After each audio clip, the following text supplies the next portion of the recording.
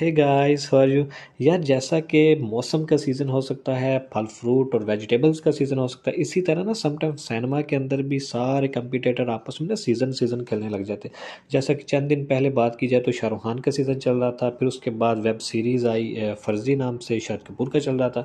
So market के अंदर OTT के ऊपर एक और वेब सीरीज़ को रिलीज़ कर दिया गया है और इसके पॉजिटिव पॉइंट बताने से पहले मैं एक छोटा सा नेगेटिव पॉइंट बताऊँगा, लेकिन वो छोटा सा पॉइंट इतना बड़ा मुझे नज़र आ रहा है कि अगर ये ना किया जाता तो ये सीरीज़ 2023 की क्या पीछे आने वाली हमेशा हमेशा की बनाई गई बॉलीवुड सीरीज़ को रिकॉर्ड तोड़ सकती थी, बल्कि ब्लॉक बूस्टर की हद तक जा सकती थी।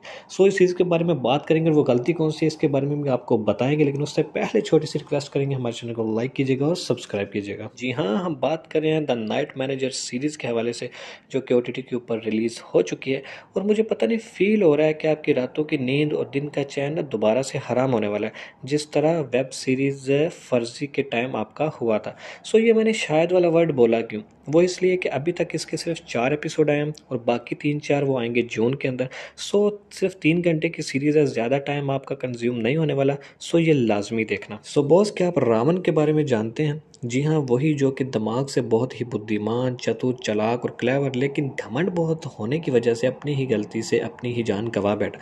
सो वो रावण लौट आया है, दोबारा अपनी उसी ही लंका में। सो वही श्रीलंका वाली पहली सी सेम टू सेम प्लेस जहाँ पर इसका बहुत बड़ा अंपायर है।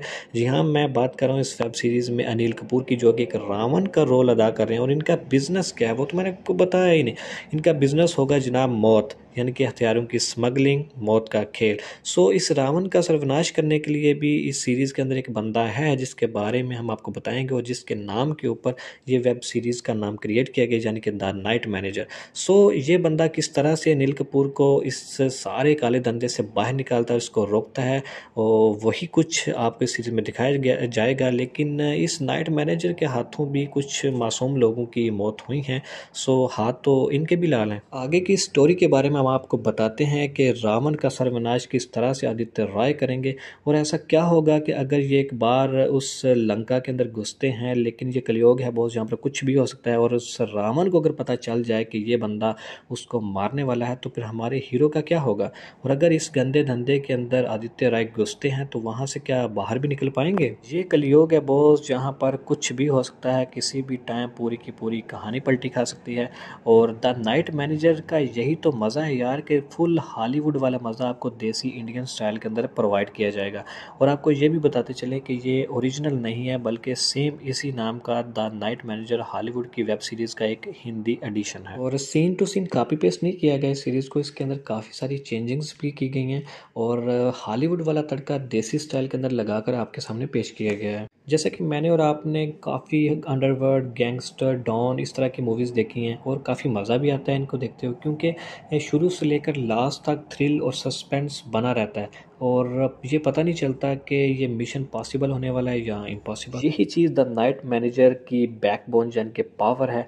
और सबसे बढ़िया बात कि सीरीज़ के अंदर आप अनिल कपूर को एक विलन वाले रोल के अंदर देखेंगे।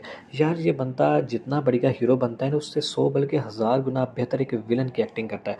और इस सीरीज़ के अंदर जैसे जैसे जब जब भी ये स्क्रीन के ऊपर आता है ना तो आपको इस चीज़ का अंदर से एहसास फील होगा कि यार, ये बंदा ना कोई मौत का बिज़नेस करता है।